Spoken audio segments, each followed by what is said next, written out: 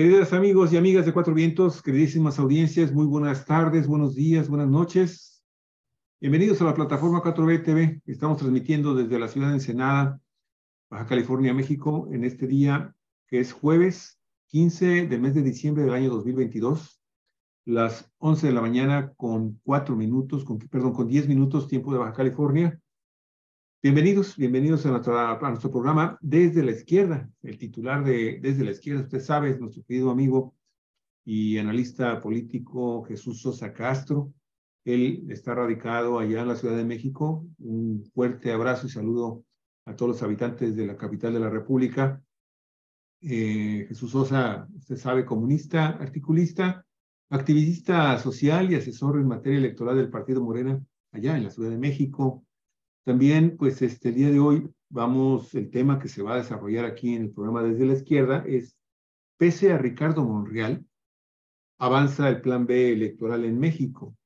Y pues hay que señalar que en medio de la oposición y acusaciones de traición, el Senado aprueba el plan B en materia electoral, pero los mini partidos parasitarios incluidos los aliados del Partido Morena, es decir, el Partido del Trabajo y el Partido Verde Ecologista de México, pues simple y sencillamente se niegan a dejar el presupuesto y ahí desaparecer el escenario electoral y político del país. Bueno, hay declaraciones muy, muy importantes que está haciendo el día de hoy el presidente este, de la República, Andrés Manuel López Obrador, sobre estos dos temas.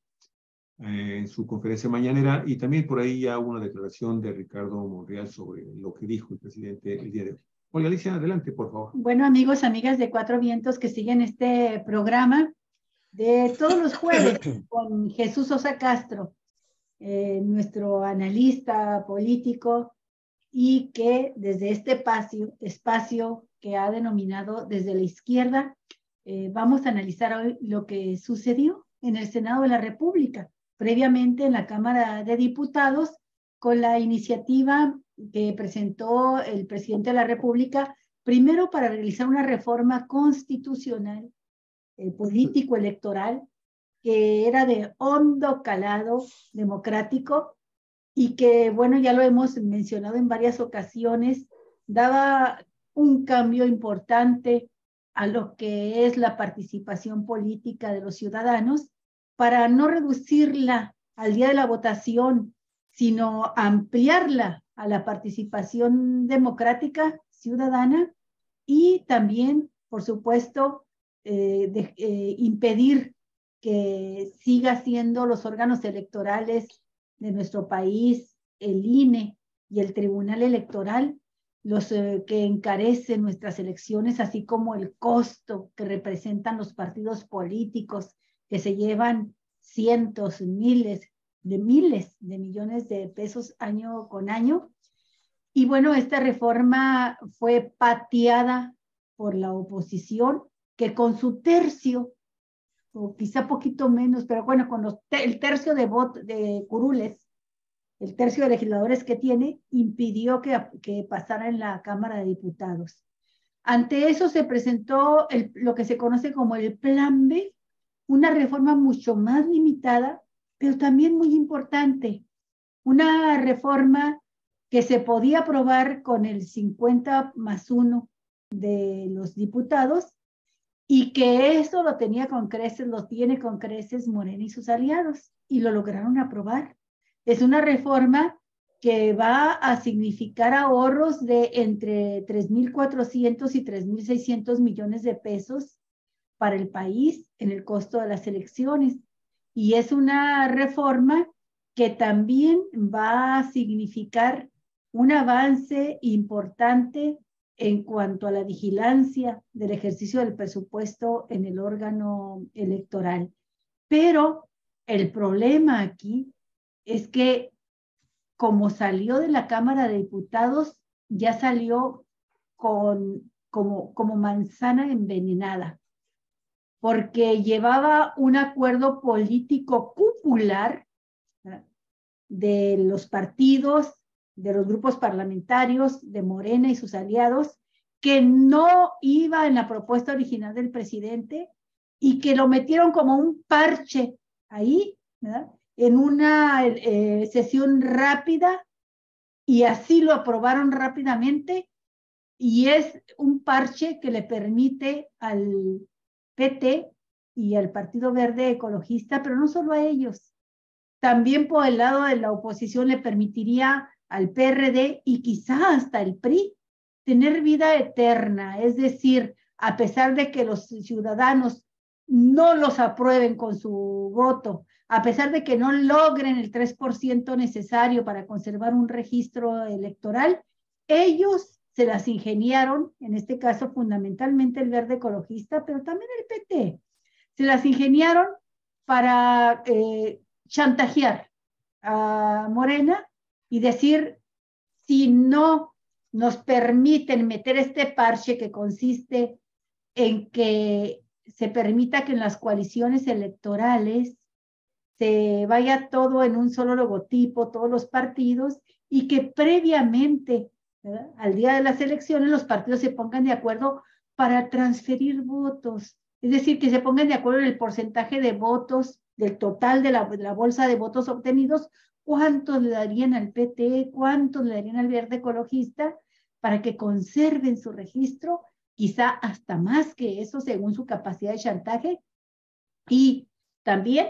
para que preserven, por lo tanto, una determinada cantidad de curules eh, plurinominales y también, por supuesto, para que obtengan prerrogativas, aunque la gente, si votara por cada partido en lo particular, en la, en la boleta, quizá determinaría el triunfo de los candidatos que postulan en común, pero la pérdida del registro de esos partidos, como ha venido sucediendo. Este parche llegó así a la Cámara de, Senadores y fue motivo de discusión, fue parte de la discusión que se llevó una sesión de 15 horas. Y después de 15 horas en la sesión realizada ayer y terminada por la madrugada, el resultado es que el plan B del presidente de la República fue aprobado con 69 votos a favor y 53 en contra, pero lleva, lleva todavía ese parche que colaron los partidos aliados de Morena y que, como repito, beneficiaría no solo al PT, al verde ecologista, sino también y mucho al PRD que está a punto de desaparecer del mapa político del país y este, quizá hasta el PRI que ya ha perdido el registro en muchos estados de la República. Y bueno, ¿por qué no? Quizá no, no de momento al Movimiento Ciudadano, pero más adelantito le puede servir. Hoy el presidente de la República ya definió su posición respecto a ese horrible parche este, antidemocrático y dijo, si va así, si es así como lo aprobaron, no me importa, yo veto la ley y eh, ahí nos quedamos. Ahí nos quedamos porque, bueno, dijo, primero van los principios por encima de todo ante el pragmatismo político, la efectividad política y los principios, cuando se ponen en juego estos dos factores, sin vacilar tenemos que optar por los principios. Ahí me quedo, Jesús, amigo, compañero, querido, para que tú nos hagas el análisis de lo que sucedió y también, por supuesto, pues nos eh, digas qué crees que va a suceder después de que de este de este de esta elección. No sin antes eh, mencionar que Monreal terminó doblegado cediendo a las presiones que le hicieron eh, horas antes de que se sometiera este a se abriera la sesión y se sometiera a votación esta ley que le hiciera Claudio X eh, González y otros este, senadores prianistas que lo obligaron a definirse, le dijeron, ya, ya estuvo bueno de andar con ambigüedades y con mucho discurso bonito. ¿Es, ¿Se es o no se es? ¿Estás todavía con, con Morena y vas a aprobar la, propuesta del presidente López Obrador o estás con la democracia y en contra del autoritarismo, como se dicen ellos, y, y, este, y te vienes con nosotros? ¿Y qué creen? Se fue con ellos votó en contra del plan B propuesto por el presidente López Obrador. Adelante, Jesús, ¿qué piensas de todo esto? Bueno, has eh, cubierto una parte muy importante de lo que eh, forma parte del tema. Me parece que a lo que has comentado, a lo que has dicho, habría que agregar algunas cosas que tienen que ver con lo que estaba de trasfondo político en estas decisiones. Y lo primero que yo quisiera señalar es el hecho de que el presidente otra vez les eh, dio un, como podríamos decir, un golpe político que no se esperaba la oposición, porque ésta había declarado de manera exagerada, podría yo decir, que había sufrido una derrota importante el jefe del Ejecutivo con su eh, reforma constitucional eh, que había sido rechazada de manera pues, abrumadora, podríamos decir, ¿no?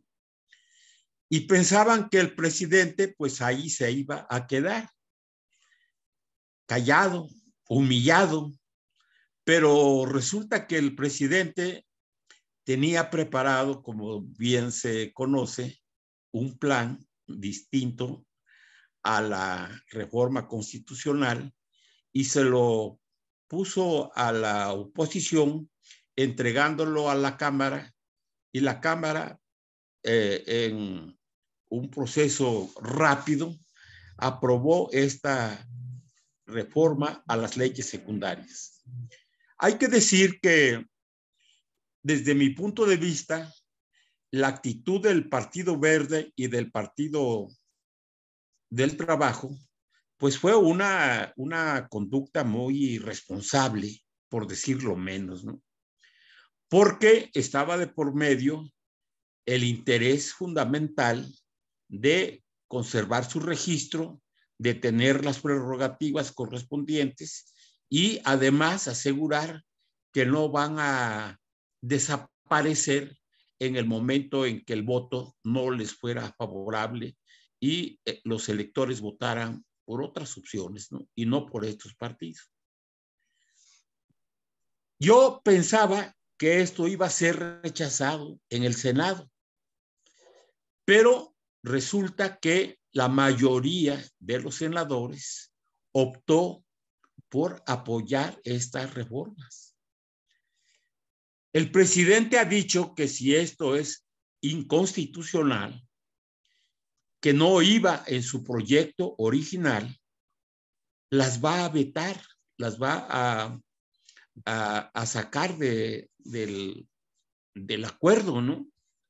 Y en ese sentido, pues me parece que lo que comentabas en la vez anterior, de que el presidente podía tener la capacidad para vetar toda la ley, parcialmente un, un artículo o algún capítulo, o bien no firmar la, la, la ley y dar por hecho de que hacía uso de, una, de un veto de bolsillo, creo que se llama algo así, ¿no?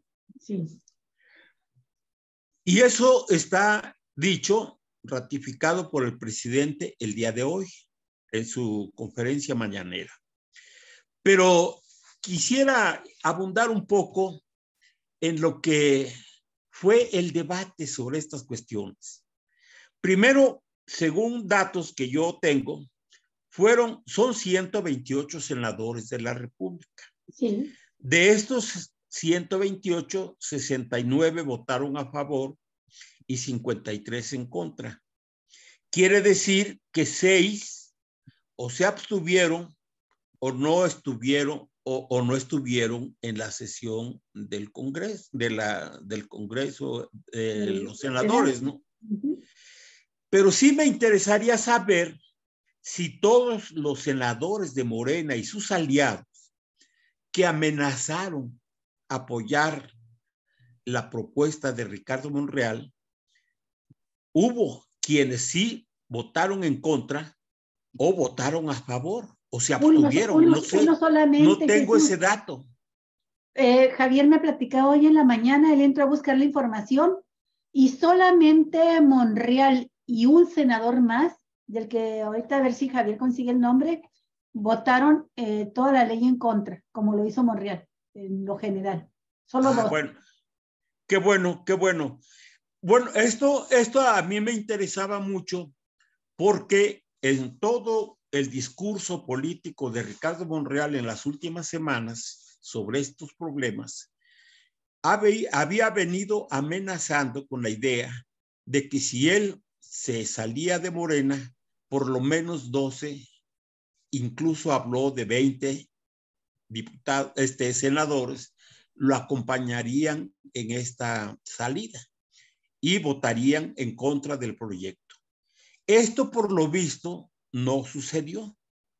Y eso es un signo, me parece a mí, de que el grupo parlamentario de Morena se consolida como un grupo unitario junto con sus aliados, a pesar de todas las campañas y de todas las presiones que se han ejercido, no solamente por la derecha en, en, contra de, de este proyecto, sino presionando a Ricardo Monreal para que se saliera, para que rompiera y para que se llevara a un grupo de senadores a la oposición. Incluso Chong, Miguel Ángel Osorio Chong, habló de 12 personas en una conferencia de prensa que dio que iban a irse con Ricardo Monreal. Y daba por hecho de que si esto ocurría de esta manera, entonces no iba a pasar la reforma presentada por el presidente del Plan B. Todo esto lo señalo porque desde mi punto de vista, Ricardo ha cometido dos errores muy grandes.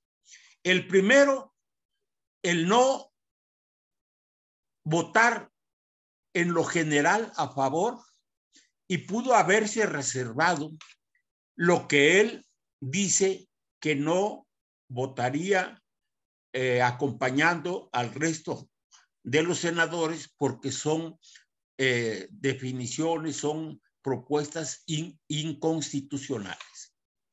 Pudo haber dicho que votaba en lo general a favor y que se reservaba el derecho para opinar o para votar en contra de aquello que él señala que son eh, que están fuera de la Constitución.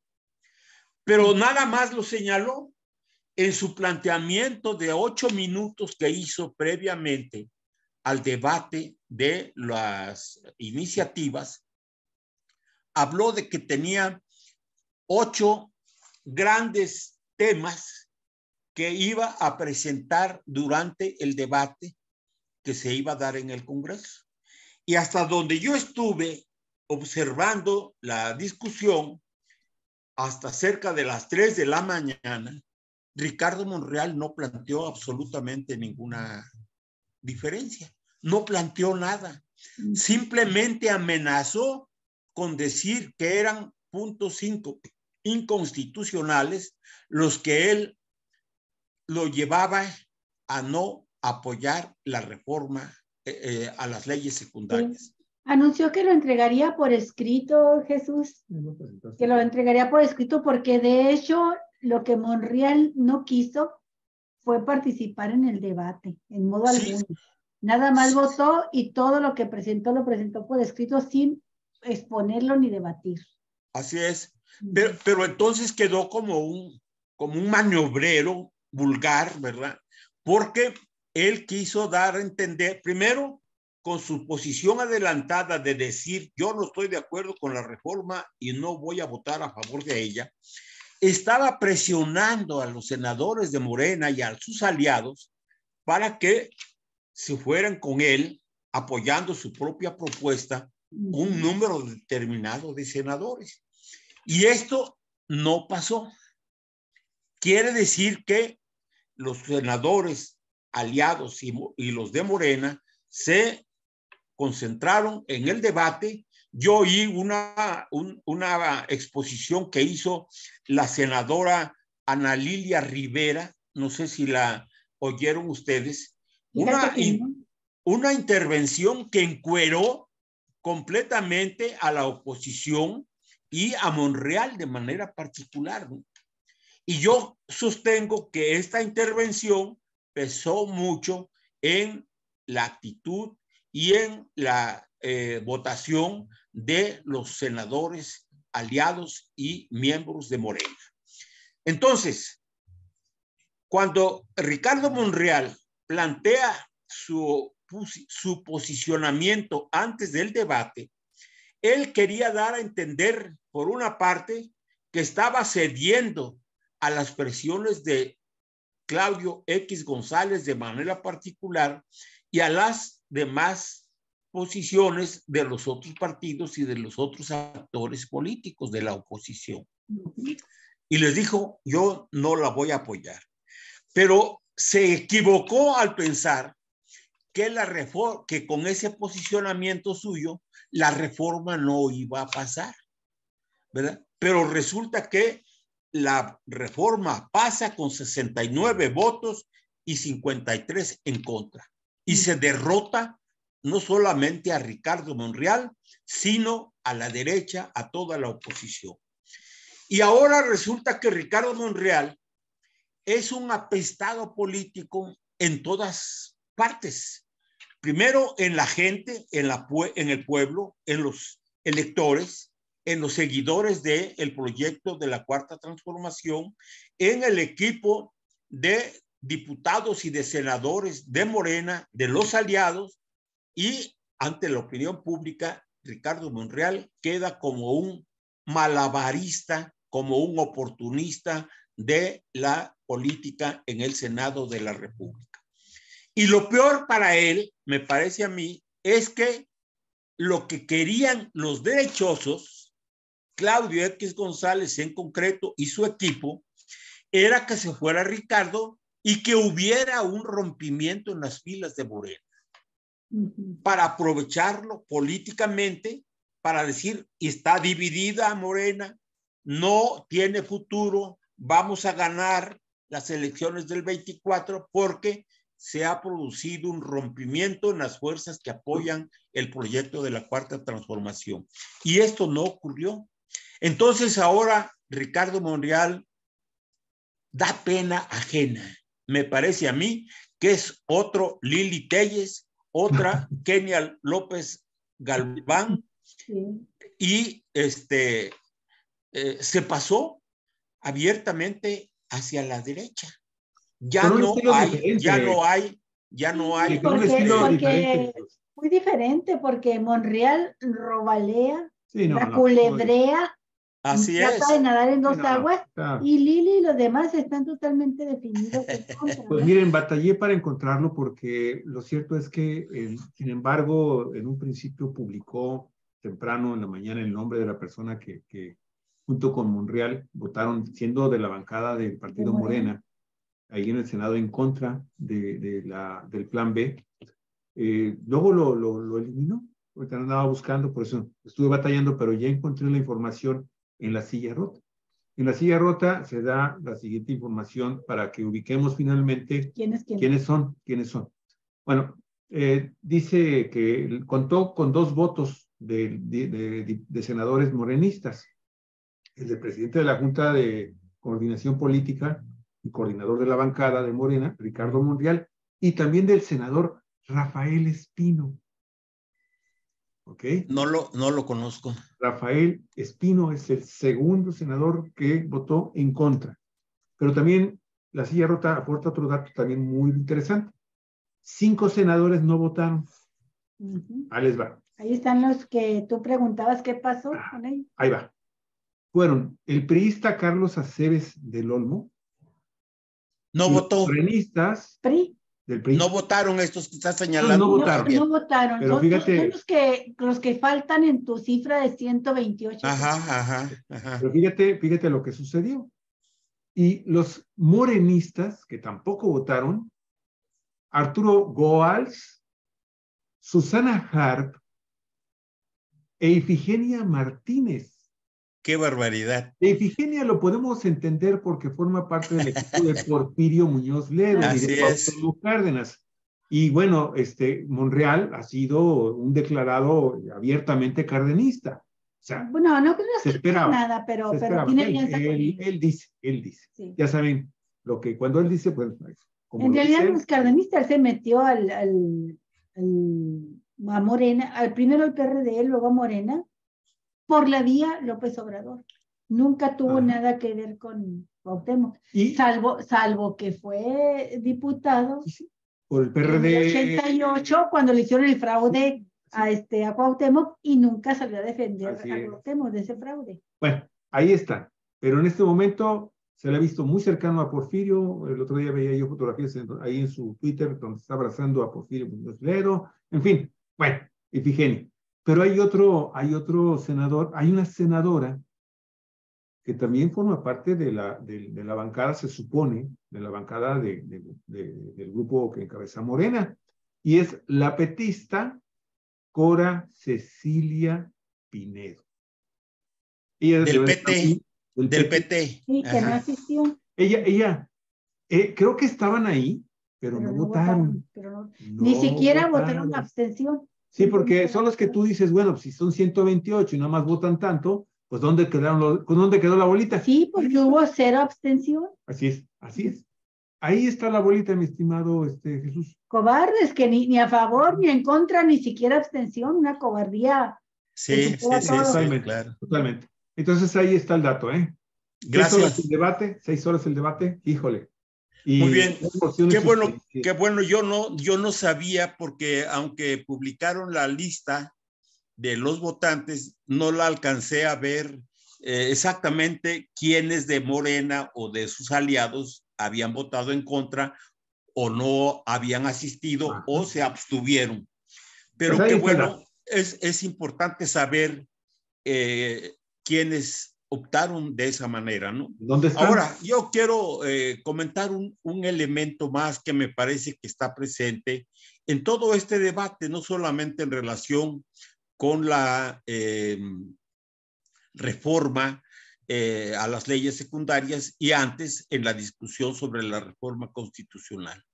Me parece que en todo este periodo en el que se han estado debatiendo problemas importantes como es la reforma sobre la eh, este, eh, luz, sobre la, este, eh, ¿cómo se llama? Lo de la luz, ¿no? Lo de... Lo de la reforma eléctrica, Jesús. Lo, lo de la reforma eléctrica, exactamente. Y luego sobre la Guardia Nacional, sobre ahora la reforma a las leyes secundarias y antes a la reforma constitucional sobre eh, la reforma electoral, me parece que el debate, Olga y Javier, está mostrando una, una degradación de la política, ¿no? Porque no solamente la derecha y todos los opositores al proyecto de la cuarta transformación han mostrado una debilidad política e ideológica verdaderamente eh, lamentable, ¿no? Porque si ustedes han seguido el debate como yo, nos hemos dado cuenta de que solamente se han dedicado a criticar todo lo que significan las propuestas y, el proyecto, el programa del gobierno encabezado por López Obrador. Pero no hay una sola propuesta en esta discusión. Una sola propuesta que tú digas, vamos a discutirla porque aborda problemas sustanciales de la vida económica, política, social, electoral, etcétera, de la vida nacional. No hay eso. Y yo oigo los debates y oigo las intervenciones de Álvarez y Casa, de Miguel Osorio Chón, de este, Lili Telles, de este, la señora esta de la botarga, ¿cómo se llama? Xochitl Galvez, y de los perredistas, senadores perredistas. Y, y francamente dan pena ajena, ¿no? Porque no dicen absolutamente nada. Se ve que su odio y su, y su eh, irracionalidad los ha obnubilado y no tienen capacidad alguna para descifrar para entender lo que significa los proyectos que ha presentado el gobierno de la República. Oye, porque ¿sí? yo estoy de acuerdo, estoy de acuerdo contigo en lo que estás diciendo. Sin embargo, debo decir algo que me llamó poderosamente la atención el día de ayer en el debate. Cuando se tocó este punto del el acuerdo cupular entre Morena, este, el PT y el Verde Ecologista, para pasar esta manzana envenenada, que es eh, este, lo que va a, a vetar, a, a, cuestionar lo que está rechazando López Obrador, porque no iba en la iniciativa de López Obrador, lo metieron ahí y lo metieron como, como partidos que solamente buscan sus intereses mezquinos particulares que tienen miedo de desaparecer porque el electorado puede votar por Morena y puede votar por el obradorismo, pero no por ellos. Y, este, y que lo han visto en el 2018 y 2021, ellos como partidos en lo particular perdieron votos, aunque la coalición los ganara, ¿no? Y los ganara a través principalmente de la votación a, a través de Morena. Todo esto es muy importante señalarlo porque ayer hasta me causaba muchísima extrañeza, pero cuando yo escuché en este punto específico del tema a Álvarez y Cázar y a Cepeda, el panista. Damián Cepeda. Damián Cepeda, dije, Dios mío, estoy coincidiendo plenamente con ellos. Y ellos mismos tuvieron la honestidad moral, política, intelectual de decir, esto que ustedes están metiendo aquí no es lo que propuso, lo que propuso el presidente López Obrador. Entonces creo que es muy importante señalar esto porque primero, en su ambición mezquina, el verde ecologista y el PT le abrieron una cancha enorme a la oposición para aparecer como demócratas, cuando como tú dices, en lo que estabas diciendo, no tenía ni un solo argumento real, válido, convincente para, este, para ante los ciudadanos demostrar su votación en contra de la, de la ley de, propuesta por López Obrador. Sin embargo, en este parche asqueroso, mal puesto, aparecieron como los grandes demócratas. Y, este, y, y muy pocos de ellos tuvieron la honestidad política de decir no es la propuesta de López Obrador. Otros como Lili Telles y gente de baja ralea salieron a, este, a tratar de, de, de, mostrar que era una cosa de, de, de, López Obrador y de Morena en su conjunto. Si hubiese sido de Morena en su conjunto, habrían tenido más votos. Pero lo cierto, Jesús, lo cierto, y, es lo, y aquí es donde tú que eres de un espíritu muy crítico, hacia, eres morenista y obradorista de corazón, pero eres muy crítico y eso es lo que se te aprecia siempre. Lo cierto es que ahí, por ejemplo, ahí mismo la, la intervención de, de, Cravioto, el senador que, fue, que llevó la voz de defensa de, de, la, iniciativa, porque se autoanuló.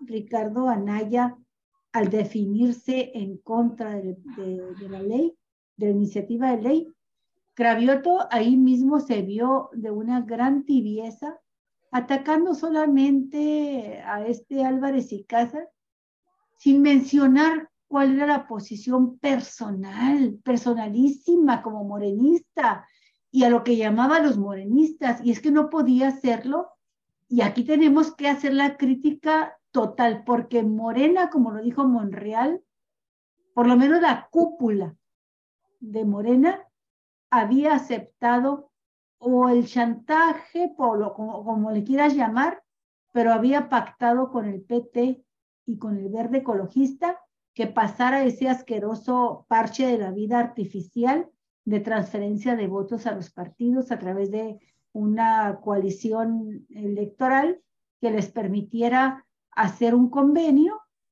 es que, entregaran, que se entrega, tú sabes lo que era en el pasado, ya superado, se suponía, hacer un convenio que lo registraban ante el INE y donde decía, en aquel tiempo cuando el el PRD era todavía un PRD este, prestigiado, decente. decente.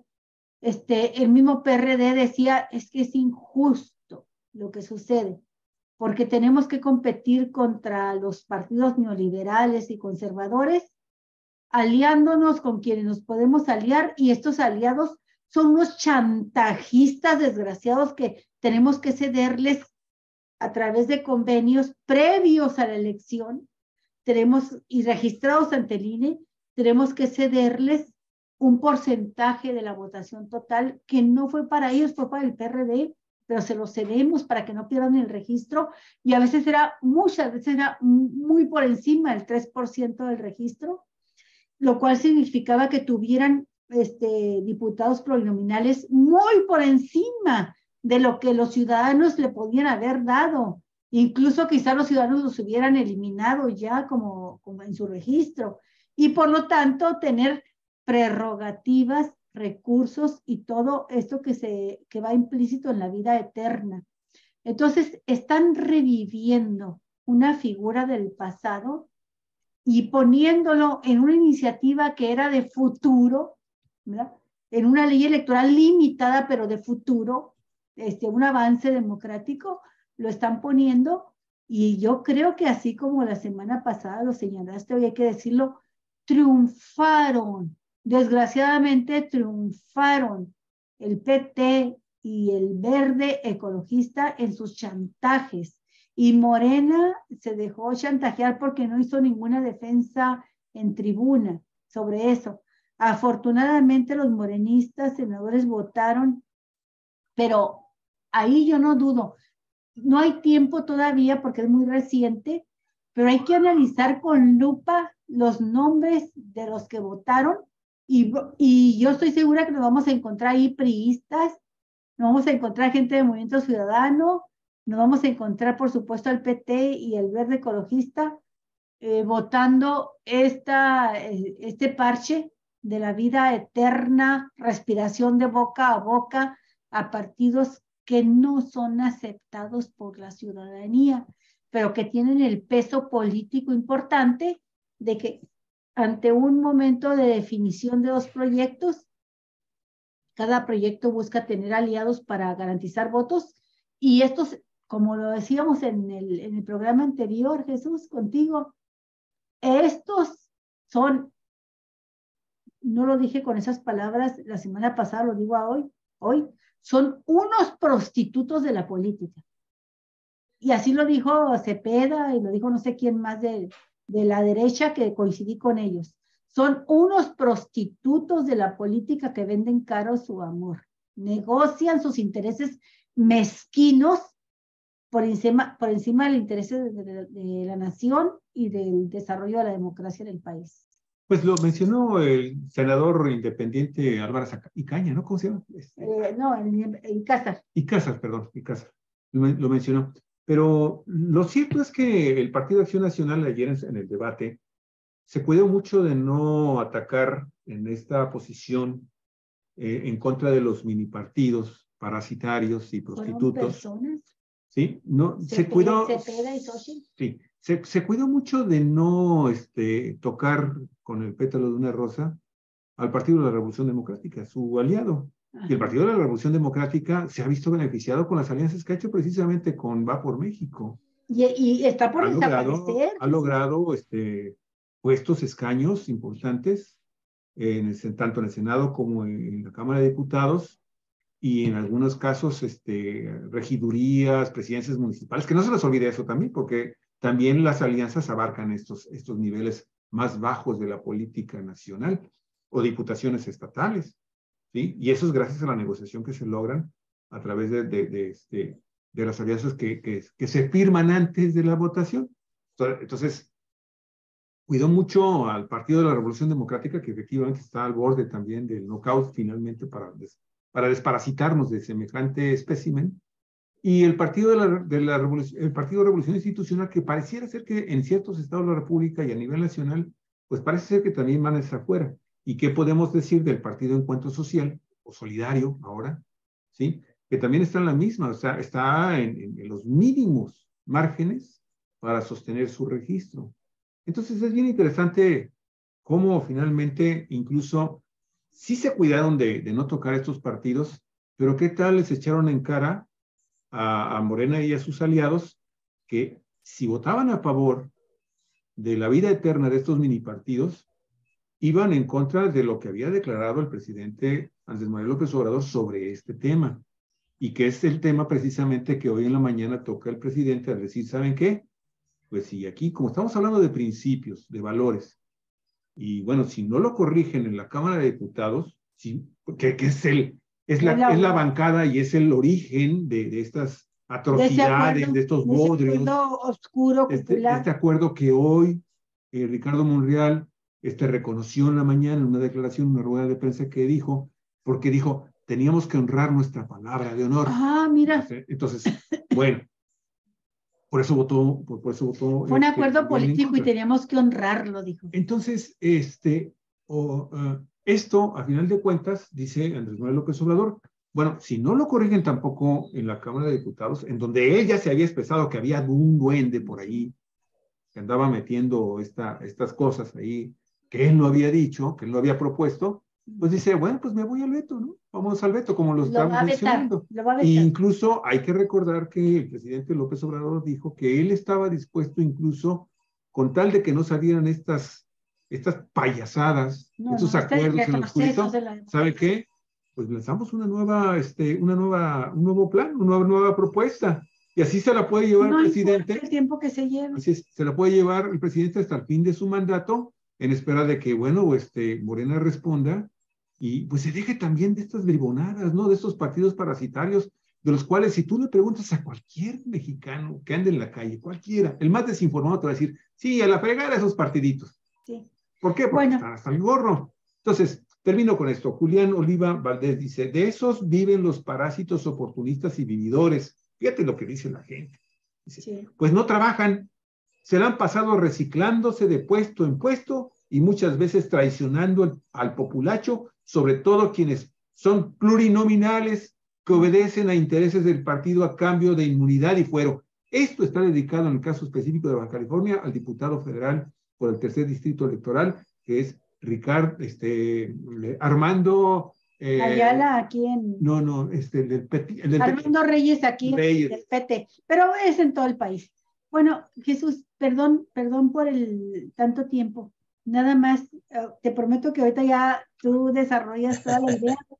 Nada más eh, puntualizar dos cosas. Una, para quienes nos están escuchando y no conocen bien cómo está esta cuestión de la ley, lo que propusieron los del Partido Verde y del PT, que son aliados de Morena, y que es una propuesta que beneficia al PRI y al PRD, es eh, además de a ellos mismos, ¿no? Al PT y a Morena, al Verde, es que se constituyan en las coaliciones electorales un acuerdo en el que de antemano, antes de que la gente vaya a votar, de antemano se tome un acuerdo de las, de las direcciones de los partidos políticos, donde digan del total de votos que se logren, vamos a decirlo así, el 50% será para Morena, aunque los votos hayan sido el 98% para Morena. El 25% para el PT y el 25% para el verde ecologista, por decirlo así, por ponerle números. Sí, sí, sí. ¿Qué significa esto? Que aunque a la hora de votar, ah, y además dicen, y que todo quede integrado en un solo cuadrito dentro de la boleta, que sean de los aliados de la coalición electoral para que la gente no sepa por quién está votando. Está votando por una coalición de donde van todos los partidos. Pero previamente en un acuerdo que hacen las cúpulas partidistas y la registran ante el INE, dicen cómo se van a repartir los votos que se logren en ese cuadrito, que aparece en la boleta, en ese cuadrito de la coalición.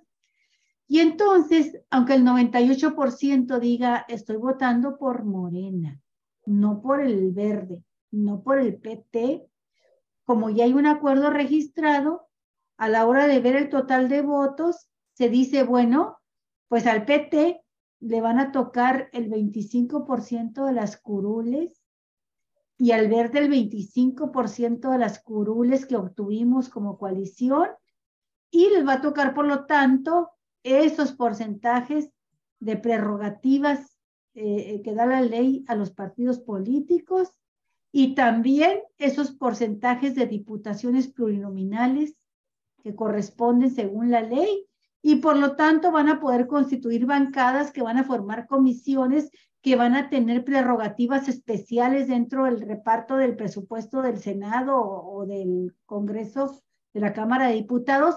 Y es decir, les va a ir a toda madre, con recursos a toda madre, aunque la gente ya no quiera esos partidos. Que aunque la gente sepa que hemos cargado con estos partidos como garrapatas en nuestro lomo, pero en la próxima elección nos deshacemos de ellos. ¿Y cómo? Votando por Morena, pero no por esos partidos que están en la coalición, o votando, dirían en el grupo contrario, por el PAN, pero no por el PRI y no por, ¿cuál es el otro partido que trae? El PRD. El PRD que es un, que es un zombie, es un zombie, es un, es, es un cadáver que sigue caminando y no se da cuenta que ya está muerto. Es una botarga. Es un, deja tú una botarga existente, es un mendigo cadáver putrefacto que por extrañas e inexplicables razones siguen eh, caminando. Entonces, lo que queremos los ciudadanos es que esos partidos que realmente no representan a nadie, no nos representan más que a, la minoría de ellos y sus madres, ellos y quienes los parió, este, ya se vayan, se vayan, porque no representan nada. Sin embargo, se venden muy caro porque en, como está el sistema electoral actual, pues tienen un peso y tienen recursos y si no se, y si no buscas tú aliarlos a Morena, van a buscar irse. Se pueden ir a cualquier lado y pueden irse con los contrarios y se van con la lana que les da el instituto y se van y entonces te la, ponen difícil en la contienda política porque, porque un voto puede ser la diferencia en muchos lugares, ¿no? Entonces creo que es importante decir esto. Primero, eh, perdona Jesús, este, que acaparamos la palabra, pero me parecía muy importante aclararlo frente a la gente que nos está escuchando ahorita y que quizá no conozca cómo es el mecanismo. Segundo, este, el, único, el único senador que votó junto con Monreal. Me da mucha pena decirlo, pero es un hombre nacido en Chihuahua. No hizo ahí su, su vida, pero nació en Chihuahua. Ahorita vive en Chihuahua fue suplente este, de la, de la fórmula al Senado del Congreso con Cruz Pérez Cuellar, un panista de, que se coló a última hora al obradorismo, al, al movimiento, y que ahorita está como alcalde, porque la gente votó por Morena y por el obradorismo, está como alcalde en Ciudad Juárez la quinta sexta, la sexta ciudad más importante del país en cuanto a población. Ahí está, listo para saltar a la candidatura a gobernador. Es un panista de toda la vida y sigue siendo un panista y un neoliberal. Y Rafael Espino fue como suplente de él en la fórmula. Cuando Cruz Pérez Cuellar se va a competir por la, primero por la gubernatura y la perdió en la encuesta este, interna, se conformó con Juárez, pobrecito, que, conformista es, ¿no? Pero Juárez es un pastel muy grande. Y ahí está desde Juárez operando y es un aliado total de Ricardo Monreal. Y su segundo, este, su segunda carta en alianza política es Ebrard. Monreal fue a levantarle la mano y ha estado apoyándolo siempre a Cruz Pérez Cuellar y, y, Ebrar no se ha quedado atrás, las veces que ha podido eh, lo, lo ha apoyado. Bueno, Raúl, Rafael Espino es su suplente en el Senado y como suplente en el Senado fue el único que votó igual que Monreal. La votación general este, respecto a la ley B, el plan B de la ley electoral, lo votó junto con, con Monreal. Ese es, ese, es el, el, segundo voto que queríamos saber quién es. Es este cuate que se fue a Chihuahua, este, siempre viviendo en la Ciudad de México. En Chihuahua no lo conocíamos, los chihuahuenses no sabíamos de su existencia. Hasta que apareció de pronto ahí con, este, con López Obrador, después del 2018. Tampoco lo conocíamos como panista, aunque había, o habíamos olvidado, aunque había estado apoyando este, al, gobierno panista de Francisco Barrio. Pero, pero regresa a Chihuahua en 2016, en las vísperas de las elecciones de, la, de candidato a gobernador, nada más que perdió. Perdió, no quedó. Y buscó para 2021 ser también candidato y perdió. Este, porque la gente no lo conoce además, pero ya lo estamos conociendo. Esos son sus antecedentes, Jesús. Y ahora sí, ya, tú lo que, todo lo que quieras decir, todo el programa es tuyo, ya nosotros ya dijimos lo que teníamos que decir. Sí, este, estos dos puntos que has eh, comentado, por donde los queramos ver, no deben quedar en la reforma a las leyes secundarias. Me parece a mí, lo dije desde la semana pasada, que es una aberración que los electores estemos manteniendo a políticos buenos para nada de partidos que no están ni siquiera enterados de los problemas principales del país porque no están en contacto con la gente, se dedican a administrar los recursos que les da las prerrogativas y a hacer sus negocios particulares. Ahora, yo no sé si el presidente de la República pueda vetar eso antes de que sea promulgada la ley, porque el día de hoy se supone que lo va a discutir la Cámara de Diputados, porque regresa, regresa del Senado a la Cámara de Diputados y la Cámara de Diputados me parece a mí que todavía tiene la posibilidad de echar abajo la, los dos aspectos estos que estamos criticando. Me parece que todavía hay esa oportunidad. En ese sentido, Pero, el anuncio del veto del presidente. Vamos a esperar a ver si la Cámara de Diputados echa abajo esto y si no, entonces veto pero no tiene que esperar que sea decretado, que sea publicado, en, porque le, le corresponde a él decretarlo. Se le corresponde a él publicarlo en el periódico oficial con su firma como acuerdo del Poder Legislativo. El último paso del proceso es que se decreta por parte del Ejecutivo. Bien, pues entonces... No se nos pase que también aprobaron, está aprobado, la otra parte de este tema de los mini partidos, la, la bolsa la bolsa de financiamiento que no manejan, en lugar de regresarlo para que se recaude de nueva cuenta en la Secretaría de Hacienda, se lo van a guardar como lo están haciendo actualmente. Se lo guardan para el próximo año y utilizarlo a discreción. Eso también quedó aprobado. ¿eh? Eso, eso, forma parte, eso forma parte de lo que debe salir. Así, es, justamente porque, eso, no. Eso tampoco. Eso Así es. Eso yo no lo propongo. Bueno, vamos a esperar a ver qué decide la Cámara de Diputados. Yo me temo que no va a salir allí en la Cámara de Diputados y que va a tener que ser el presidente el que eche abajo estas dos propuestas. ¿Por qué sostengo eso? Porque en la Cámara de Diputados se llegó a un acuerdo entre las partes, lo negociaron y Morena aceptó la propuesta, por eso apareció allí, ¿no? Claro. ¿Verdad? Entonces, por más que los del PT, del Verde, intenten justificar estos aspectos que estamos comentando el día de hoy, la verdad es que no deben aparecer ni deben aprobarse en esta ley eh, que se acaba de discutir en la Cámara de Senadores.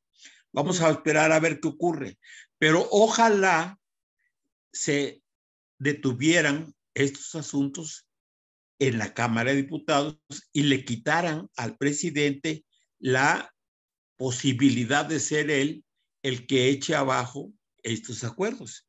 Pero van crecidos con el acuerdo del Senado, van así como hinchados. Sí, claro. Hinchados de poder. Porque si finalmente llega la propuesta eh, a, la, a la Suprema Corte de Justicia de la Nación que están haciendo la oposición de hablar de que tiene puntos inconstitucionales, pues estos dos asuntos, si siguen apareciendo allí, son un buen pretexto para que haya una discusión, se metan los amparos, se trate de, de estorbar la aplicación de esta reforma y generar conflictos que innecesariamente tendríamos que estar siguiéndole eh, los pasos debido a esta inconsistencia política que mostraron estos partidos.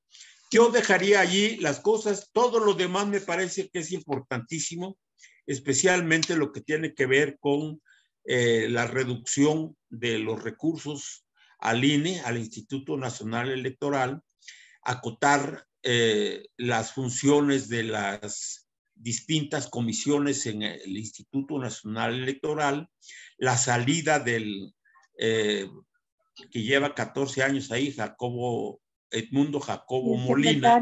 General. Exactamente. Y la desaparición del fideicomiso que tienen los diputados allí para repartirse una la nota una vez que se jubilen o que salgan de la institución. Entonces allí dejaría las cosas por ahora. Tengo ya poco tiempo, pero quisiera dar una opinión de lo que yo creo que está pasando en el Perú, que también es muy importante, ¿no? Miren, eh, yo da, he estado dándole seguimiento un poco a estas cosas.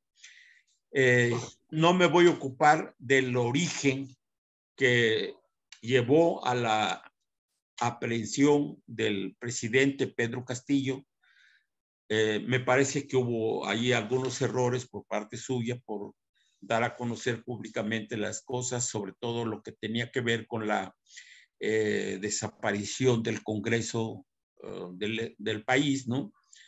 Y eh, haciendo caso omiso de eso, quiero destacar de manera particular la enorme participación del pueblo peruano exigiendo primero la restitución de las funciones del presidente Pedro Castillo y, y la desaparición inmediata de lo que es el Congreso Nacional.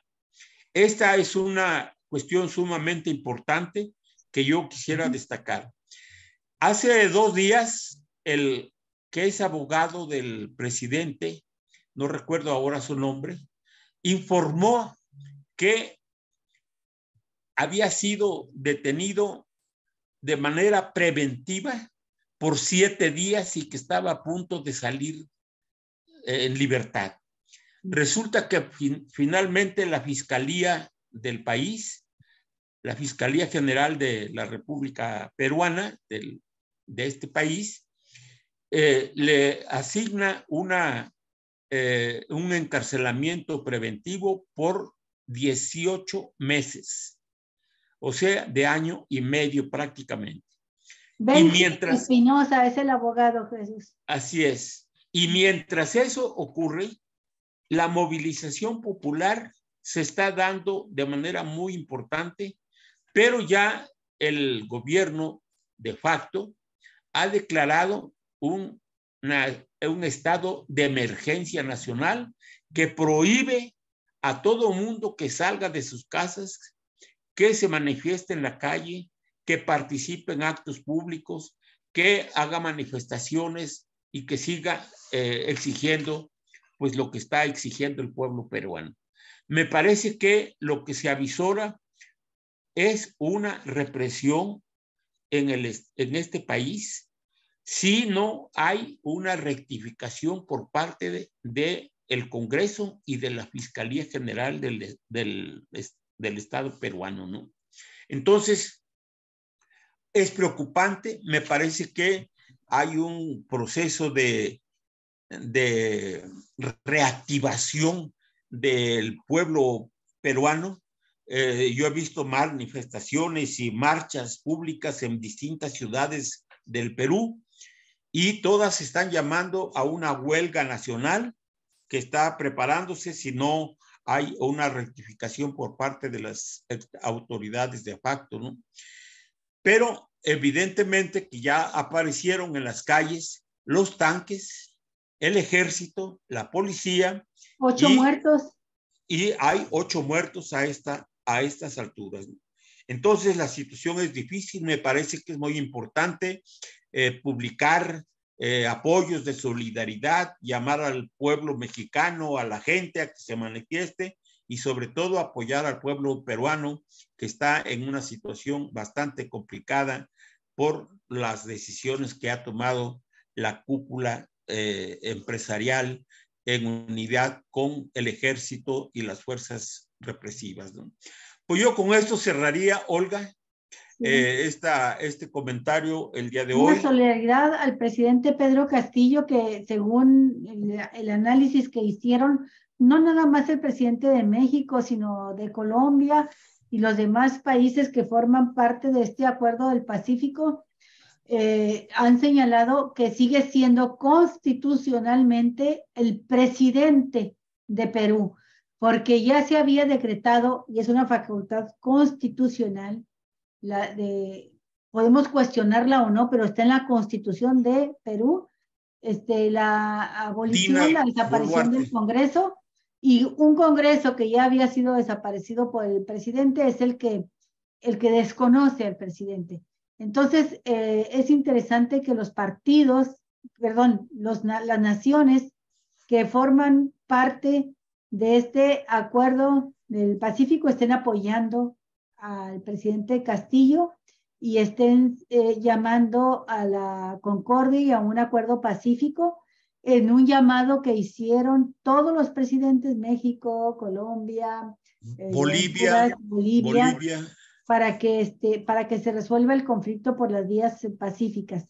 Así es que, de acuerdo con la interpretación de la constitución de Perú, eh, el presidente que tienen ahorita encarcelado acusado de rebelión, sigue siendo el presidente constitucional de, Perú.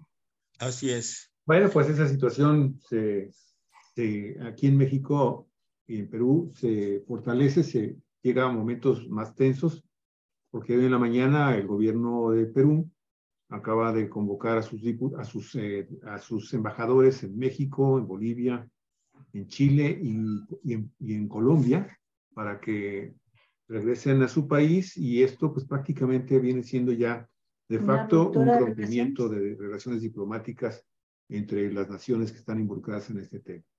En fin, bueno, mi estimado este, Jesús, muchísimas gracias por estar con nosotros.